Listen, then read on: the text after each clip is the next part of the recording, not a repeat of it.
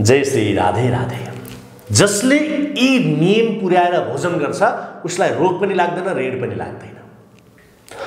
आयु र आरोग्य प्राप्तिका लागि तपाईँले भोजनका यी नियमहरूको पालना गर्नै पर्ने हुन्छ। आज म हिन्दू धर्मशास्त्रले भोजन ग्रहण गर्दा ध्यान दिन भनेका कुराहरू तपाईँलाई बताउन गएको छु। जस्तो अन्न त्यस्तै हाम्रो मन। भनेको त सुन्नुभएको छ नि तपाईँले। हामीले कस्तो भोजन खान्छौँ खाँदा कसरी खान्छौँ कुन बेला खान्छौँ यो सबै कुराले हाम्रो शरीर र मनलाई प्रभाव पारिएको हुन्छ। त्यस कारणले भोजनको नियमलाई हरेक व्यक्तिले पालना गर्न सक्यो भने त्यो भोजनले हाम्रो शरीरलाई पूर्णतया फाइदा त गर्छ गर्छ नै। त्यसैले आजको भिडियोमा म यी कुराहरू बताउन तपाईँका लागि केही नियमहरू केही अनुशासनका कुराहरू बताउन उपस्थित भएको छु। भोजन गरिसकेपछि राम्ररी अब हात धोएर हातको पानी झर्न दिएर चिसो बुढी औँलाले आँखा पुछेर आफ्ना इष्टदेवलाई स्मरण गर्ने गरेको राम्रो हात धोयो हात धोएपछि चिसो पानी चुइन दियो। बुढी औँलाले के गर्ने? आँखा पुछ्ने अनि आफ्ना इष्टदेवको स्मरण गर्ने।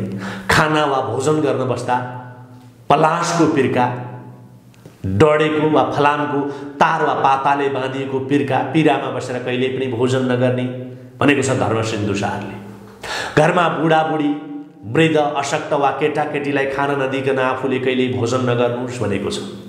उपर खुट्टी लाएर वा बसेको भन्दा अग्लो ठाउँमा खुट्टा राखेर आसनमा खुट्टा तेर्स्याएर खुट्टा पसारेर कहिल्यै पनि भोजन गर्नु हुँदैन। यसरी खाएको भोजन मदिरा तुल्य हुन्छ भनेर शास्त्रमा भनेको छ। यो कुरालाई पनि विचार गर्नु पऱ्यो खाना खाँदाखेरि हामीले ख्याल गर्नुपर्ने सामान्य कुरामै पर्न आउँछ यो होइन? अब त्यसै गरी मन्दिरभित्र बसेर कहिल्यै पनि भोजन नगर्नुहोस् बिहानको नित्य पूजा समय र साँझको सन्ध्या वन्दन गर्ने समयमा कहिल्यै पनि भोजन नगर्नुहोस्। मध्यरातमा पनि भोजन गर्नु हुँदैन। बायाँ हातले देब्रे हातले भोजन गर्न पनि वर्जित भनेको छ शास्त्रमा। भोजन गर्दा जहिले पनि सुरुमा गुलियो बिचमा नुनिलो र अमिलो अनि अन्त्यमा तितो खानेकुरा खानु सबैभन्दा उत्तम हुन्छ भन्छ शास्त्रले।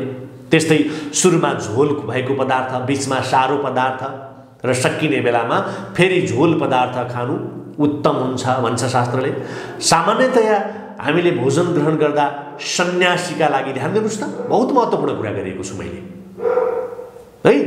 सामान्यतया सन्यासीका लागि आठ गाँस गृहस्थका लागि सोह्र गाँस वा बत्तिस गाँस वानप्रस्थको लागि सोह्र गाँस र ब्रह्मचारीको लागि चाहिने जति गाँस उपयुक्त भनेर पनि शास्त्रमा बताइएको छ। दिनमा तिन पटकभन्दा ज्यादा भोजन गर्न हुँदैन। दिन दिनमा तिन पटकभन्दा ज्यादा समयको भोजन उपयुक्त हुँदै होइन। सकेसम्म दुई पटकको मात्रै भोजन उत्तम हुन्छ। स्वास्थ्य र बुद्धि दुवैका लागि भन्छ शास्त्रले। अर्को कुरा शास्त्र अनुसार आइतबार पूर्णिमा र औँसीका दिनमा रातमा भोजन ग्रहण नगर्नुहोस्। भोजन गरिहाल्नु हो भने तपाईँले प्रायश्चितका लागि चन्द्रायण व्रत गर्नुपर्छ भनेर भनेको छ। त्यस्तै चतुर्दशी र अष्टमीको दिनमा दिउँसो भोजन गर्न हुँदैन। एकादशीमा चाहिँ दिन र रात दुवै समयमा भोजन ग्रहण गर्नु हुँदैन भनेको छ। जसले भोजनलाई ठुलो आवाज निकालेर फु फु फु गर्दै फुक्दै सप्रान सप्रान पार्दै खान्छ त्यो भोजन विषतुल्य हुन्छ भनेर पनि भनेको छ। त्यसकारण भोजन खाँदा आवाज ननिकालिकन खानुहोस्। भोजन गर्दा कस्तो आवाज निकालेर खाएको भन्यो भने आजभोलिको मान्छेलाई कति रिस उठ्छ नि है? शास्त्रले वर्जित भनेको छ। अजीर्ण अर्थात् अपच भएको बेलामा पनि भोजन नगर्नु भन्छ शास्त्रले। धेरै भोक लाग्यो भनेर अधिक भोजन नगर्नुहोस्। त्यस्तै भिजेका लुगासँग भिजेका भित्री लुगा लगाएर चिसो कपालसँगै पनि भोजन गर्न हुँदैन। अर्को कुरा पानी पिउँदा सर्केर असल्झिएर मुखबाट निस्केको पानी र त्यो पानीसँगको अंश खानेकुरा राखेको कुनै भोजन राखेको भाँडोमा खस्यो भोजनको थालीमा पऱ्यो भने त्यो खानेकुरा पनि भोजनको लागि अयोग्य मानिन्छ। हामीले खाना खाँदै पानी खायौँ पानी खाँदा कुनै असल्झियो सर्क्यो र त्यो भोजनको भाँडामा प्लेटमा पस्यो भने त्यो भोजनको प्लेटमा भएको भोजन खान उपयुक्त हुँदैन भनेको छ। त्यस्तै तपाईँले नुनका सवालमा सिधे नुन र सामुद्रिक नुन बाहेक अरू नुन जस्तो खानेको नुन सिधै खानु र माटो खानु अथवा गाईको मासु खानु एकै हुन्छ पापतुल्य हुन्छ भनेर शास्त्रमा भनेको छ। है भोजन गर्दा दिशा लगायतका अपवित्र वस्तु छोइयो भने नुहाएर मात्र खानुपर्छ। र सयपटक गायत्री मन्त्र जप गर्नुपर्छ अर्को विकल्पका रूपमा। त्यस्तै कसैको झै झगडाको कोलाहालको घट्टको ढिकीको ओखलको मुस्लीको आवाज खाना खाने ठाउँमा आइरहेको छ भने त्यस्तो आवाज सुनिने ठाउँमा भोजन गर्नु उपयुक्त हुँदैन। त्यसै गरी पकाउँदाखेरि नै कपाल कमिला झिँगा आदि परेर अन्नसँगै पाकेको रहेछ भने त्यस्तो अन्न खानु हुँदैन। थाहा हुनासाथ त्यो भोजनलाई छोडिदिनुपर्छ यथास्थानमा। त्यो भोजन पुनः ग्रहण गर्नु हुँदैन भनेर भनिएको छ। यी कुरालाई पनि भोजनको नियमभित्र पर्छ मेरो प्यारे महोदय। है त्यस्तै गरी बाछो नभएको गाईको दुध ब्याएको दस दिन नपुगेको गाई भैँसी वा बाख्राको दुध गर्भिणी पशुको दुध एक समय बिराएर दुहुने गरेको पशुको दुध दुईवटा बच्चा भएको पशुको दुध त्यसै गरी थुनबाट आफै दुध चुहिरहने पशुको दुध बाख्रा बाहेक दुईवटा मात्र थुन हुने पशुको दुध ऊँट घोडी मृग आदि जङ्गली जनावर र भेडीको दुध पनि खानका लागि वर्जित भनेर शास्त्रमा भनेको छ। त्यस्तै हिङ बाहेक रातो रङको अन्य खोटो दिशा गरेको ठाउँमा उम्रेको साग देवतालाई चढाउने उद्देश्य बेगर बनाइएको हलुवा खिर मालपुवा खान हुँदैन। यो पनि भोजनको नियमभित्र वर्जित गरेको कुरा भयो। त्यसै गरी सनपात कुसुम फुल लौका भन्टा कोइरालो बर आदिको फल बिमिरु पनि खान हुँदैन प्याज लसुन खान हुँदैन पकाएको भाँडोमै खाने कुरा कहिल्यै पनि ग्रहण गर्न हुँदैन।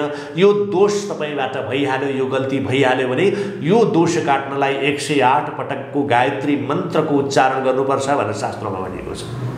भोजन गरिरहेको बेलामा कुलङ्गार कुसंस्कार आदि अपवित्र सोच र कार्य गर्दै आइरहेको व्यक्तिले छोएको भोजन पनि ग्रहण गर्न हुँदैन। यस्तो अवस्था आइपऱ्यो भने छोडिदिनुहोस् खान भनेर भनेको छ। गलत कर्म गरेर धन कमाएको व्यक्तिको घरमा गएर वा त्यस्ता व्यक्तिले दिएको कुनै पनि भोजन ग्रहण गर्न हुँदैन। सिधै दुर्गतिमा परिन्छ। त्यो पापको हिस्सेदार बनिन्छ भनेको छ। ठगेर छलेर ल्याइएको धनको हिस्सा तपाईँले पनि उपभोग गरेपछि त पापको भागीदार तपाईँ पनि त हो नि। त्यसै कारण मेरो प्यारे हुँदै यी कुरालाई पनि विचार गर्नुपर्छ। त्यस्ता व्यक्तिको घरमा गएर भोजन ग्रहण गर्नु हुँदैन। तपाईँ स्वयं पनि त्यो पापको भागीदार हुनुहुन्छ। धेरै छन् भोजनका नियमहरू। है मोटामोटी मात्रै मैले बताएको। आजको मान्छे रोगी र ऋणले मिचिएको छ। किन छ त भन्दा भोजनका नियमहरूलाई मान्दैन। भोक लाग्यो भने जहाँ पायो त्यही खाइदिन्छ। जे पायो त्यही खाइदिन्छ। बस जिब्रोको स्वादमा मात्रै ध्यान दिन्छ। त्यो भित्र गएर मलाई केही गर्छ कि भनेर कुनै पनि कुराको ख्याल राख्दैन कुनै पनि नियम मान्दैन। त्यसैले बाहिरबाट मात्र हेर्दा मान्छे सुखी देखिएको छ। आन्तरिक रूपमा मान्छे सुखी छँदै छैन। बाहिर जिब्रोको स्वादमा मात्रै मान्छे निर्लिप्त छ। त्यो भोजनभित्र गएर मेरो पेटमा मेरो शरीरमा कस्तो खालको प्रभाव छ भन्ने कुरा विचारै नगरी खाने भएको कारणले मान्छे बाहिरबाट हेर्दा झट्ट सुखी देखिए पनि भित्र आन्तरिक रूपमा ऊ बहुतै दुखी छ बहुतै रोगी छ बेचैन छ छटपट्टि र खटपट्टिमा बिताएको छ। त्यसकारण कुनै न कुनै रोगले र कुनै न कुनै प्रकारको ऋणले ग्रस्त हरेक मान्छे छ यहाँ। तसर्थ मेरो समादरणीय मित्र मेरो प्यारो महोदय मित्र भोजनको नियमलाई पालना गरेर आयु र सुख प्राप्त गर्नुहोस् भन्ने मेरो तपाईँलाई हार्दिक अनुरोध छ। कृपया यी कुरालाई तपाईँले पालना गर्नुहोला। महत्त्वपूर्ण समय र साथका लागि धन्यवाद। यो भिडियोलाई यतै बिच मार्ने अनुमति माग्छु। जय होस्।